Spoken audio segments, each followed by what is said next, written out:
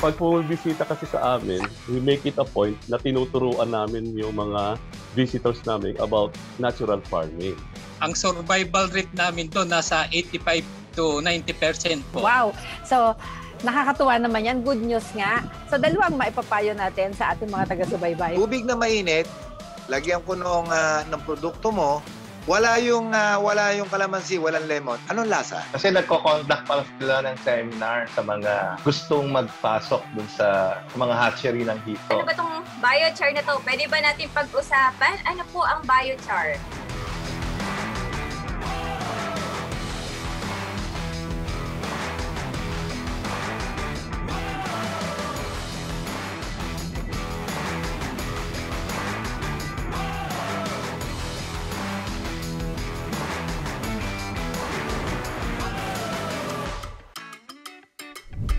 Araw, isang kakaibang episode ang inyong matutunghayan dahil bibisita tayo sa isang farm academy. Alamin natin ano ba ang mga tinuturo at maaari nating matutunan sa farm academy na ito. Abangan nyo po yan, ito ang Agree Ako Dyan.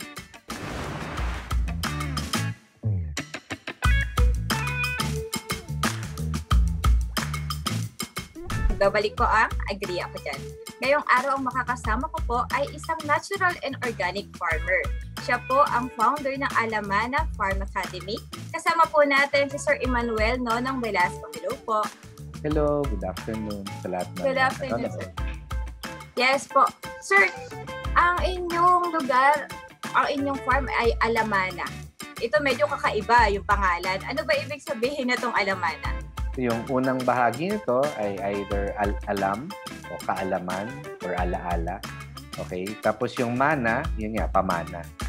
So, ang pakay kasi nitong farm ay para siyang farm tourism area. Malapit kami sa Tagaytay. Ah, pero isa rin naging ah, way na maturuan ang mga kab- kabataan or kahit na sino about taking care of nature, di ba? Sustainability at tungkol sa larangan ng agrikultura na medyo nakakalimutan na natin. di ba? Mm-mm. How how do we produce food? Um, so yun, so yung kalahati niya, yung alaala, okay? Or ah, tapos yung pamana. Okay, so passing. So kaalaman or alaala at saka yung pamana. Yun yung, yun yung pinanggalingan ng alaman. Ang ganda ng pangalan ng inyong farm, sir. Salamat. So dito sa inyong farm nakalagay din is Farm Academy. Nakasabi mo, akaalaman. So, paano tayo naging Farm Academy? Well, it- ito ay isang pangarap pa rin. ano, Itong dream siya. Ah, ayon kasi sa statistics, ang mga magsasaka natin sa Pilipinas ay almost senior citizen na. Yes. Okay? So, ano ibig sabihin? Hindi na siya ah, ginagampanan o ginagawa ng mga kabataan. Ah, kung, to'y, kung ito'y magtutuloy-tuloy, eh may problema tayo. Mm-mm. Kasi paano tayo kakain, 'di ba? So yung ah, advocacy nito ay tulungan sana yung mga mahilig sa larangan ng agrikultura ay mabigyan ng isang ah, avenue para ito'y i-practice o pag-aralan. So tulad nga ng sabi ko kanina sa initial na natin, ako'y part ng United Nations Food and Agriculture Organization. Ako ay isang resource person sa uh, Department of Agriculture and Agricultural Aid Training Institute. At nakikita natin yung mga gaps, no? yung mga kakulangan. Ah, minsan nagpapadala tayo ng trainees sa abroad. Pagdating naman dito, hindi naman nila ma-practice yung training nila kasi sa kabilang bansa gumagamit sila ng ng greenhouse o drip irrigation. Pagdating dito, wala namang ganun. Magte-training sila, punta sila sa Israel, tuturuan sila ng drip o kaya fertigation. Wala naman silang lugar. No? So, kaya siya naging farm academy. Ah, isang lugar kung merong mga interesado pang mga kabataan pero kulang sila ng kagamitan o pagkakataon ay willing willing kaming ah, makipag-partner sa kanila. Okay? Upang sila'y gumaling. Um, yung kakaiba rin sa aming farm kasi is that we are connected no to a ah, social enterprise which actually distributes and markets natural and organic products. So, isa din yung problema yan ng mga nagpapasok sa farming. Uh, umpisa, pag problemahin nila paano mag-produce. Pero actually, yung problema, hindi pag-produce. Once may produce ka na, saan mo siya mabibenta ng Yes. magandang presyo or steady yung presyo. So, yan yung mga challenges dito sa ating ah, sa agriculture. Opo. Sir, I agree sa inyo no na 60 years old karaniwan kasi yung iba sa mga gustong mag-farm, pumasok sa farm, mag-venture, eh yung mga retiring na yung mga eh, mag-retire na ako, bibili ako ng farm, doon na lang ako sa farm ko. Sa, yun yung ano, no? Yun yung mga may kaya. Ito yung mga hobby farmers. Pero kung titingnan naman natin ang mga karamihan ng farmers natin, hindi sila masyadong may kaya. Ang ang katotohanan niyan ay ah, marami sa kanila may trabaho noon. Ang problema ng trabaho nila is very ano ah, labor intensive or physical lang pinupusta. Ito yung ating mga construction workers at kung ano pa na lab- laborious yung trabaho nasa factory. Ah, pero pagkadating na ng panahon na may edad ka na o hindi ka na sing likse, hindi ka na nagiging priority. Unang-unan, nagmamahal ka na kasi alangan naman bigay sa iyo yung yung entry level income lang. Tapos hindi ka na rin sing bilis nung kabataan. Eh palaging may pumapalit. Mm-mm. Pero pag sinabi sa ng boss mo, pahinga ka na kasi may edad ka na eh. Eh wala ka namang ipon, wala ka naman na ipundar, eh kailangan mo pa rin kumain. So kadalasan, yung ito yung perspective ng buong Pilipinas, no. Kadalasan babagsakan pa rin nila yung pagsasaka. Mm-mm. So, yung sinasabi mo, Ami, totoo yun. Yung mga retiree, yung mga galing corporate, that's just one half of the story.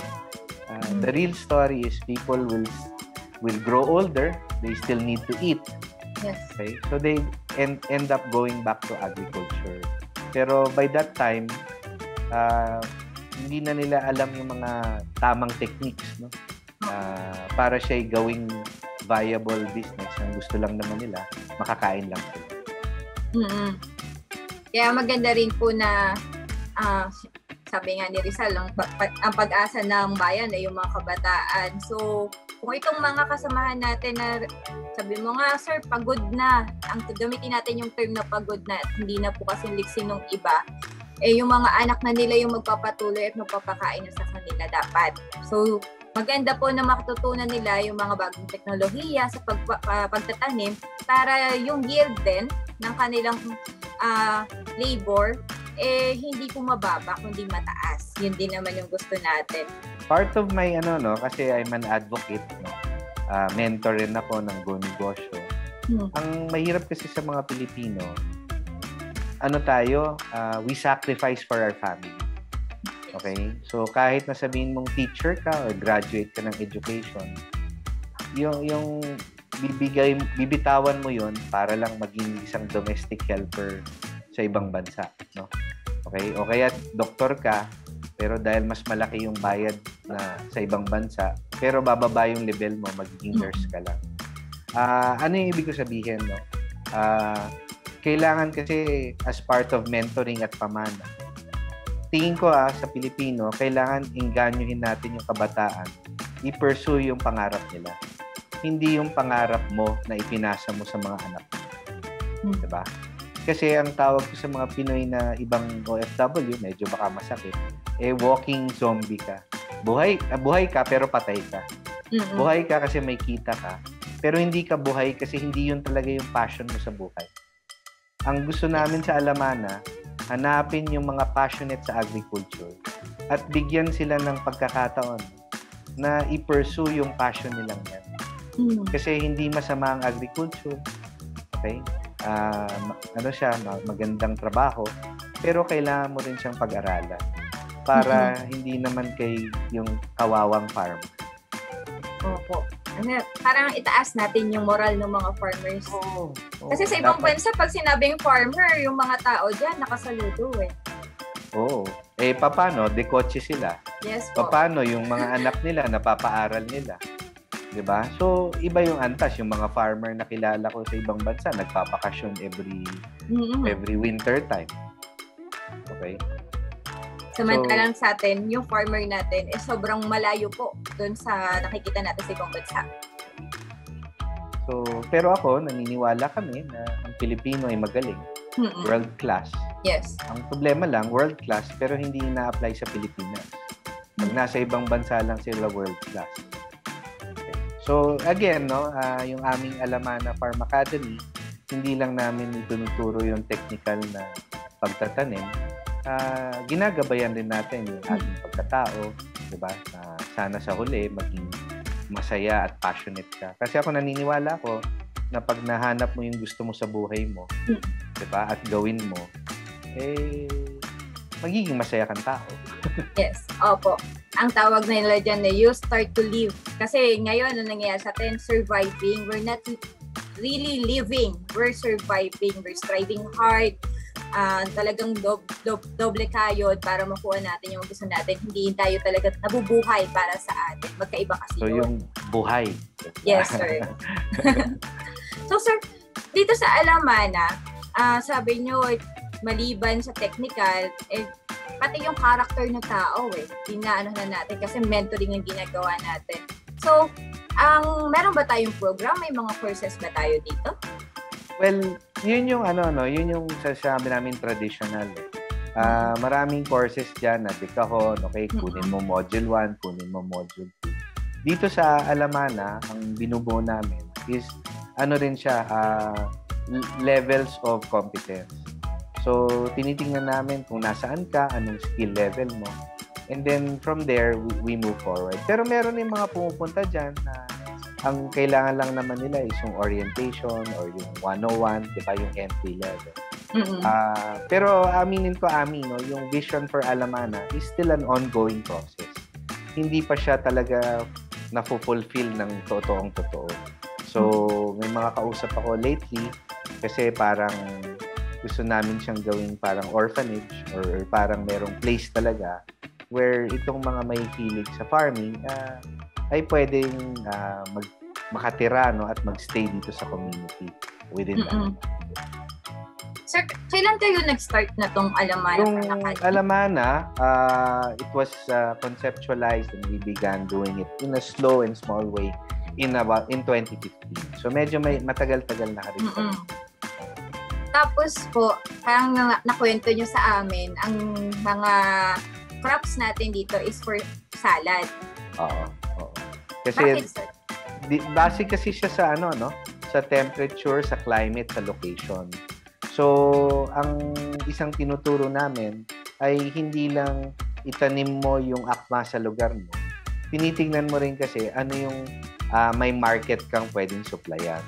So, kino-combine natin yung dalawang yon, yung market availability, 'di ba, and potential. Doon naman sa ano ba yung ah, ideal ma- ma- matanim dito. Ah, at siyempre, tinitingnan din natin ano ba yung kaya natin itan- patanim na hindi kaya ng iba. So, ang naging isang ah, forte dito sa lugar na to kasi medyo malamig, 'di ba? Ma- maraming restaurants in the area, Yes. um, ganyan. So, ito yung mga salad related sa salad line, no? Ah, vegetables, as well as mga herbs. Sir, sabi nyo kasi hands-on training. So, sila talaga yung nagtatanim. Pa- paano ano, paano ang, pwede nyo ba kami bigyan ng sample po? We advocate kasi sustainability. Mm-mm. ah, yung pag-aalaga sa nature.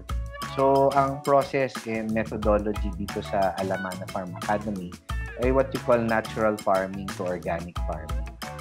So, dito hindi kami gumagamit ng mga nakakapinsalang chemical, okay? Yung mga environment-friendly practices ang ginagawa. So, ah, before, hindi lang nangyayari lately dahil may pandemya, we have partnerships with some agricultural schools. So, dito nag-OJT yung mga bata. So, we teach them the basics of organic farming kasi ah, ano lang eh, a few units lang yan sa agriculture sa, sa university. Tapos, ang mas importante, we give them an area, a space no, para ah, pag-aralan nila at gawin nila. So, may kwento nga ako dyan, Ami. eh. Ah, meron kaming batch noon na pag uh, in-interview mo yung mga bata, tapos i-measure mo yung knowledge nila, whether it's a question and answer or a written test. Ma- makikita mo yung sino yung magaling sumagot. Mm. So, siguro yung perfect or minus one lang. Tapos may makikita ka na, okay, pasado. Diba? Na hindi niya kuha lahat, hindi niya na-explain lahat. Pero sabi ko sa kanya, sa kanila, ang tunay na sukatan, hindi dito sa papel. Ang tunay na sukatan, itong lupang bibigay ko sa inyo. So, they were given a, a couple of plots, you know, yung mm. tinataniman. At the end of the day, ang final grade ninyo ay base kung ilan ang maaanin nyo. Oh. And, and alam mo, sa huli, ikaw, tat, papaguess lang kita, no? Tingin mo ba yung highest scoring, yun yung highest harvest? Hindi, sir. Ganyan din So, ako eh. So, yun, Mas yun, ano ko sa actual. so yun, yun, yung, yun yung ibig ko sabihin na hindi ibig sabihin alam mo, ibig sabihin kaya mo magpatuto. Tapos nung natapos yung training period na yun, hinupukulit yung mga estudyante. Tinanong namin, kasi yung certificate nila, hindi lang yung binigay yung certificate. Nakasulat doon yung ilan yung naanin niya Mm-mm. doon sa space niya. 'Di ba? Kasi 'di ba yung iba bibigyan ito ang grade mo. Okay. So sila. So in-interview namin yung ano, yung bata, sabi ko. Bakit sa tingin mo ikaw pinakamadami yung naani mo kumpara dun sa iba? So ang naalala kong kwento niya, eh, kasi sir, wala pa yung araw, excited na ako, eh, gising na ako. Okay? Kasi gusto ko nang diligan yung mga yung mga alaga ko saka nakakatuwa. Okay? Unlike yung iba, bago pumunta doon, sa social media muna, text-text dito, kaya kung ano-ano. yung yung iba, nagmamadaling magdilig kasi mainit, gusto nilang magtago na kaagad sa ilalim ng araw. So, i- sila yung ano, sila yung pinapag-reflect ko, mini-mentor ko sila para ma-realize nila what does it take to be successful uh, doon sa ano ng park. So, masasabi ko Ami, hindi kami traditional school. Okay? We we we mentor you more than we put you in a classroom. So, yun yung approach ng Opo. Parang iba talaga pagka yung meron kang heart dun sa ginagawa ko. Oh, ano ba? Yun yung pinaka-importante, di ba?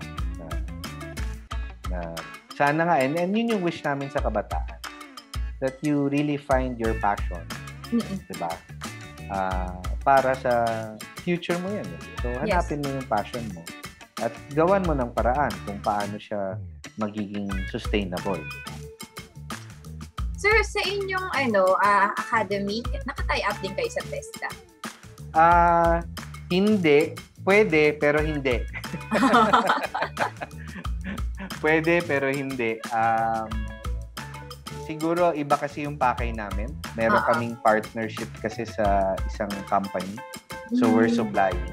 Mm. Iba kasi yung, ano eh, iba kasi yung, ang purpose mo lang magturo. Okay? Oo.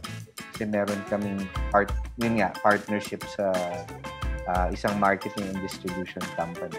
So, pagka nag-accredit ka kasi as TESDA, then you will you will be a school. You you will you will focus on that. Eh, kami hindi eh. More of agribusiness ang hapon.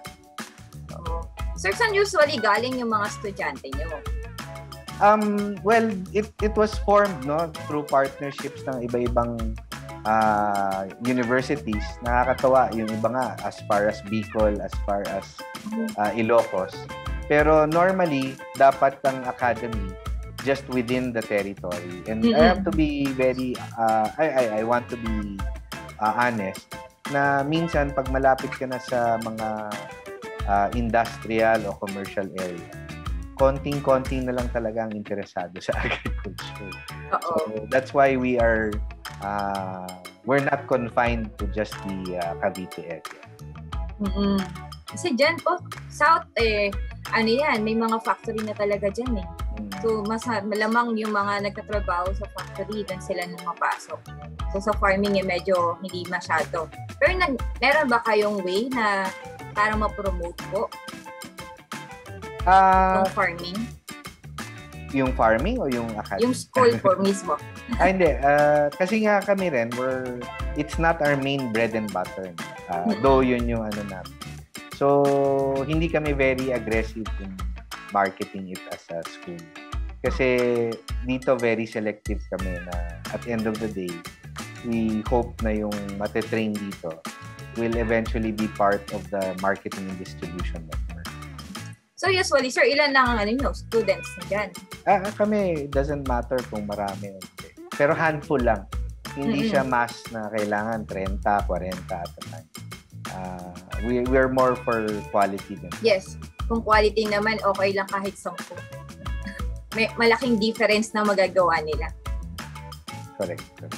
So, noong mga inyong 2015, Alamana, nag-start, ang pati ba, as academy na, hindi pa, di ba, sir? Ah, hindi pa. Hindi pa naman. So, nag-start kayo ng academy anong year? Ah, yung ano naman doon, mga 2016, 17, dyan, dyan kami nagsimula kumuha ng mga OJTs. So, may mga the graduate na po kayo. Ah, ano naman, certificate, certificate naman siya. Hindi siya, hindi, hindi pa siya full-fledged academy. Opo. Pero nasusundan natin, sir, yung journey nila after dun sa inyong, parang nung nag-enroll sila dyan, nakakuha ng certificate, nasundan ba natin yung journey nila? Ah, well, yung iba in touch sa Facebook, but uh, Ami, I'll, I'll be very honest with you dahil they come from the, you know, the universities of Mm-mm. uh, agri. Many of them are not even into agriculture. Oh. yun, yun, yun yung sad reality.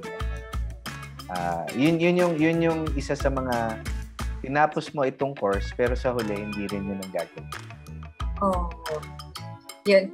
Yun sana yun talagang mahanap natin yung mga passionate.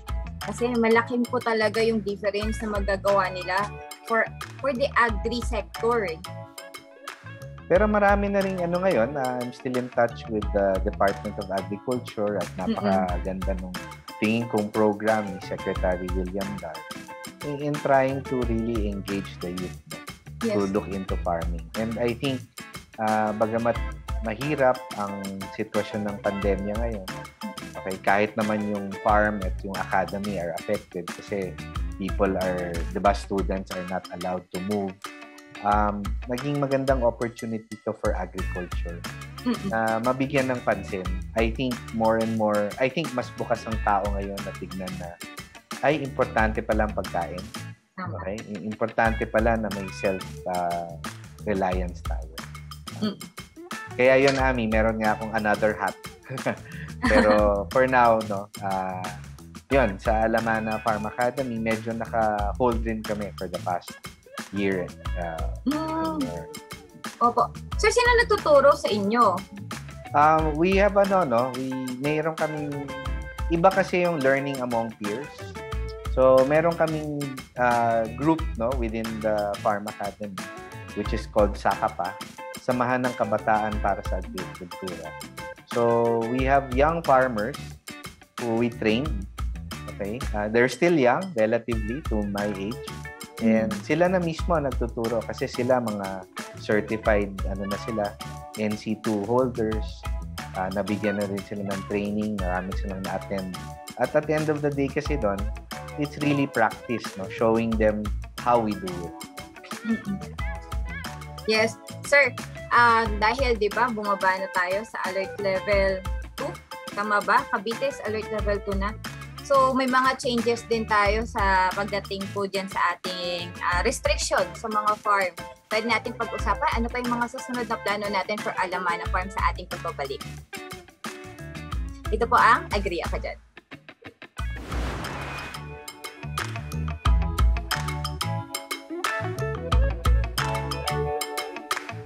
Ibabalik ko ang Agree Ako Dyan. Kasama ko pa rin po si Sir Nonong Velasco. Sir, ah yan, sabi ko nga kanina, bumaba na tayo sa alert level 2. Ano bag, mga aabangan natin na programa sa Alamana? well for Alamana tuloy pa rin kami babalik na kami mag magpo full blast kami in terms of our production ang challenge kasi 'di ba because of the pandemic medyo yung productivity and continuity of things so we need to first uh, build back the farm yun, yun yung importante Ah, pero after that now that uh, I think mas marami nang nagiging interested sa sa yung mga da- mas marami ng plantito, plantita. Diba? Yes. Uh, we we will ano, we will be offering again that uh, people can come over and learn uh, what is uh, organic farming or natural farming. So it's really just going back to to the ano, to the heart of what we want to do.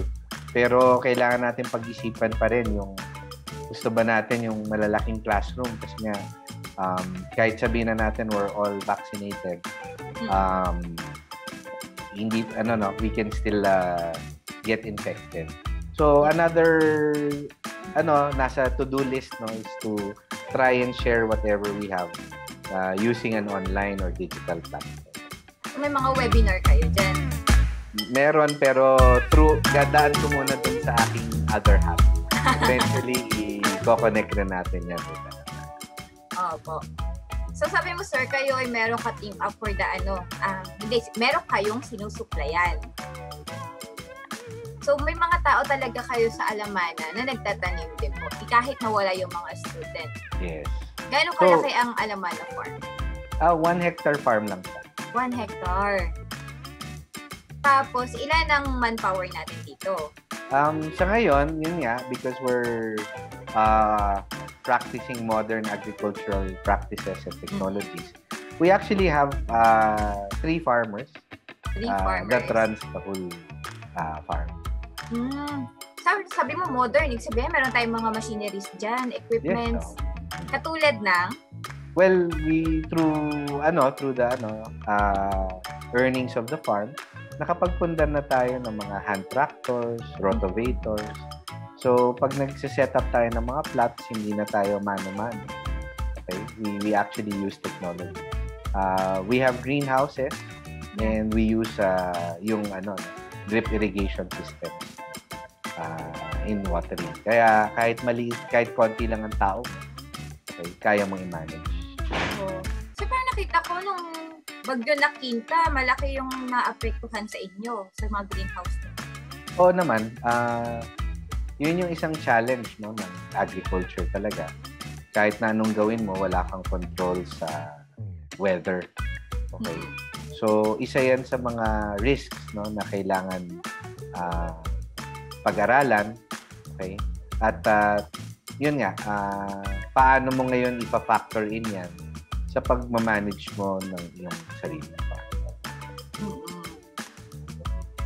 Na, pero mabilis na bang nakabawi from the greenhouse? Kasi greenhouse itself mahal. Ah, you have to calculate. Eh, nakuha naman namin yan. Pero kasi nung nagsimula rin kami ng greenhouse, maniwala ka, Ami, ang greenhouse namin, kawayan na. Okay. So, ang importante kasi kung ano yung available resources mo. Mm-mm. Tapos makuha mo yung return on investment. Okay? Kasi lahat tayo iniisip, oy, kailangan yung pinakamaganda. Mm-mm. Hindi eh. Kasi minsan di mo afford yung pinakamaganda eh. Tama. Diba? Ang importante, kung ano yung kaya mong ipundar, yun muna, pakitain mo. Pag kumita ka na, then mag-upgrade ka. Okay? Pero yun nga, wala naman yatang greenhouse na na na develop para mapaghandaan ng isang category 5 o napakalaking bagyo, di ba? Sa huli, talagang Kasama kasama, yan. po. Oo, kasama na yan sa sa ano. But there's one more thing, no, which Mm-hmm. uh, we can do is to insure insure our farms. No? Kasi pagka may insurance ka, then may masira, pwede mong ma, ma- may makukuha ka no Yes. para ma, ma-start ulit. Katulad sa iyo, sir, is high value crops itong mga nakatanim, sir. Hindi, yun nga mami yung isang rason bakit we're part of a, a, a system or network. Yung aming marketing company na sinusuplayan, pag tinatamaan ka, kunyari, ng isang ah, bagyo, nasira yung tanim mo, nandyan sila to support para makasimula ka. Oh, yun ang maganda. Diba? Tuloy-tuloy po ang ano, ang transaksyon. Oo, kasi kung hindi kung hindi kami tulungan ng sinusuplayan namin, Mm. wala rin silang supply. Tama. So, yun yung yun yung ecosystem or, or ano, ah, kaya kaya kaya kaya kami sumali. Ano pinagkaiba na to sa... Kasi meron ako na-interview, natural farmer. Hindi rin siya nag agree sa organic farmer. Pero hindi kasi sinasabi na masama yung organic farming.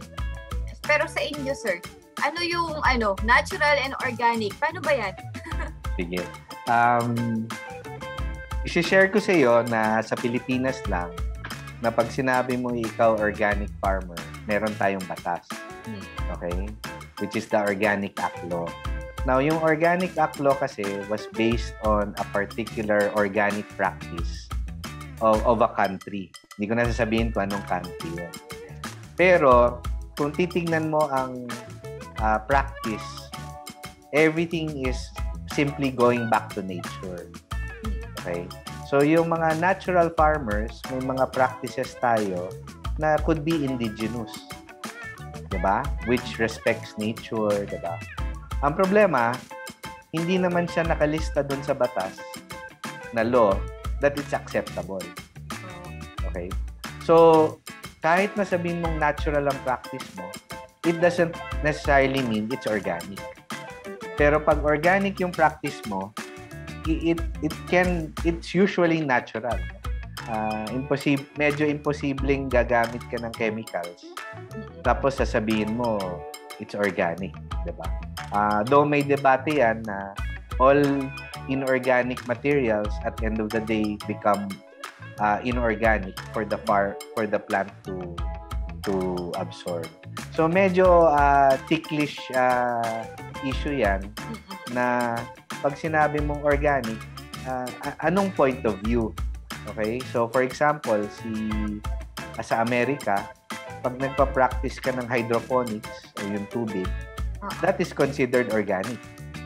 Pero dito sa Pilipinas, dahil nakasulat sa batas natin na organic is only when there is soil, by default, hydroponics is not organic in the Philippine context.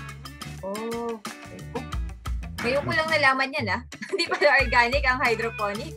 'Di ba? Oh, 'di ba ikaw? Pero at the end of the day, ano bang pakay mo kung ikaw ay consumer? Binibili mo ba yung organic o yung binibili mo yung ano ba yung habol mo? So So may mga ano yan, you have to really try and understand. Now, pag sinabi ko kasing natural farmer ako, ah ito yung difference siguro na marami kasing organic practices which ah, alienate the poor. Okay? Kasi kailangan mo bu- bumili nito, kailangan gumastos dito, gumastos. Kaya ako ini-embrace yung natural farming. Kasi ito yung mga kayang gawin ng mga maralita o yung mga farmers sa probinsya na part ng ad- personal advocacy ko. So, kung hindi nila kayang mag-organic, hindi ko pipilitin. Kasi unang-una, para maging organic dito, magbabayad ka ng certification na Yes. napakamahal. Which is mahal din. Oh. Pero 'di ba, kung ang pakay mo naman ay mabuhay na na malinis, na hindi ka natatakot, walang poison yung kinakain mo, 'di ba? Bakit natin sila i-alienate? So, ako, sinisimula ko sila na mag-practice ng natural, 'di ba? Kasi yun yung kaya nila. Tapos, pagka sila na ngayon ay may kita at umiikot yung kanilang ano, ah, negosyo, 'di ba? At may nakilala silang mas nangangailangan at nire-require na na organic talaga yung, yung may may certificate eh di sa kanila gastusan yung para maging organic. Pero kung sa simula pa lang kasi ay i-require natin yung small farmer na maging organic, eh marami sa kanila hindi maghihindi, di ba? Yes. So, minla, hindi ko kaya eh. Ma- mahal. Mahal eh. Oo. So, paano natin sila i-enganyo? Okay? Na i-embrace yan. Yung tinatawag na chemical-free farming, safe Mhm. farming. So, natural and organic farm ang alamana. So, paano kayo nagkaroon ng ganitong klaseng advocacy? Uh, well, yun na nga, with my work with the uh, United Nations Food and Agriculture, tapos ako nga ay isang uh, napasok sa isang mga non-government organizations na ang pakay na talaga ay tulungan yung mga poor. Uh, 'di ba? At karamihan ng poor sa countryside, ang kanilang pinapasukan ay farming. So, so yan, uh, medyo mahaba-haba ang history, Ami. Yung naging eye-opener sa'yo, na-expose ka. I was part of a non-government group no, na Mm-mm. ang pakay ay mag, magbigay ng ah, pabahay or gumawa ng community. Ah, it's called Gawad Kalinga. Gawad Kalinga. Yes, ang Gawad Kalinga, marami talagang natulungan at saka marami talagang tao na nagkaroon ng advo advokasya dahil dito. Talagang nakita naman din kasi yung magandang mga proyekto po nila para sa kapwa, sa community. from from Gawad Kalinga, we to sustain communities, we needed to establish what we call social enterprise. So, yung mga business with a heart. So, kaya ito, tinuloy namin ah, on our individual efforts. Na paano tayo gagawa ng negosyo na may kita, pero nakakatulong sa environment, nakakatulong sa kalusugan. So, dyan nagsimula lahat yan. Mm. Yes, sir. Ako nga, ano din, sir, ah, dito sa show, na-expose ako. Ang dami ko nakakausap ng mga farmers talagang makikita mo kung ano yung needs nila. Na parang na-develop na rin yung heart na mag mag-farming nga ako. Parang nakikita ko ano ba yung mga nagiging problema. And yung iba naman is, magaganda naman yung naging resulta ng kanilang pagpa-farm is parang nagkakaroon ka ng idea na dapat ito yung ginawa ng isang tao na hindi, na hindi masyadong kumita dito sa time na to. So, dito sa show namin, na-expose ako personally. Sabi ko nga dun sa mga co- co-host namin, parang mas malaki yung benepisyo na pupunta sa akin kesa dun sa ibang viewers kasi ako araw-araw na humaharap dito. And hearing your story, sir, nakaka-inspire po na mayroong isang tao na ganito, kalaki ang puso para po sa agriculture and hindi limited sa agriculture, pati po sa community. Kaya ah, I hope and pray na ang Alaman na Farm Academy magtuloy-tuloy po at makasama kayo po ay mas marami pang ma ah, abot na tao pagdating po sa pag ah, bibigay ng kaalaman at sabi mo nga ay pamana. Salamat namin. Thank you, Ano- sir. Sana rin through your program, kasi nga yun yung ano, digital na ngayon. Sana mas merong may ma, inspire sa mga kwento ng mga iba't ibang farmers katulad ko. Hindi lang ako eh. Actually, now, sa pag-iikot ko, there's a lot na ngayon na masasabi mong nakakatuwa, much younger, diba? Na they're doing ano, no, great uh, uh, how do you say this works no in the realm of agriculture. So kung talagang kaila kung kung aayusin natin o iaangat natin ang buong industriya ay hindi lang Nonong Velasco ang kailangan. Kailangan may barangay talaga ng mga taong pare-pareho ang ang pakay no? Mm-mm. para ma-lift up talaga natin ang agriculture dito. Opo, kailangan po talaga yung magkaroon po ng pagkakaisa. Kasi alam naman natin, ito ay gasgas na gasgas na, pero agriculture po ay background po ng isang bansa. Kailangan po natin ito. Totoo yan. Sustainable na pagkain para po sa lahat. Lalo na itong pandemic, sabi ko nga, awakening itong pandemic, sir. Eh. Dito natin Actually, na-realize na kailangan natin mag karoon ng sariling pagkain, mag-produce ng sariling Well, pagkain. as a as a consultant nga no for the United Nations Food and Agriculture Organization, ah naka-document 'yan na walang first world country na nagsimula na hindi malakas ang kanyang agriculture. Hmm. So tayo considered third world country. Kung tayo ay mag-aasam na maging first world, Yes. okay, ang unang-unang kailangan ayusin natin ay ang ating agriculture. Tama. At buti na lang ay nandyan kayo. Ayan. Sir, thank you, thank you po sa inyong pagsama sa amin at sa Alamana Farm Academy po. Maraming salamat po. Marami kayong natutulungan. So, ah, pansamantala ay mag-iwahiwalay po tayo. Napakalaking tulong nga po sa ating komunidad ang naging layunin ng Alamana Farms na i-train ng mga kabataan sa pagkakaroon ng sustainable na paraan ng pagsasaka at i-shape ang ating future farmers na maging successful agripreneurs. Kaya nga, sir, talagang nakaka-inspire po ang inyong ah, advokasya. Maraming maraming salamat po muli. Ito po ang Agri Ako Dyan. Agree ako dyan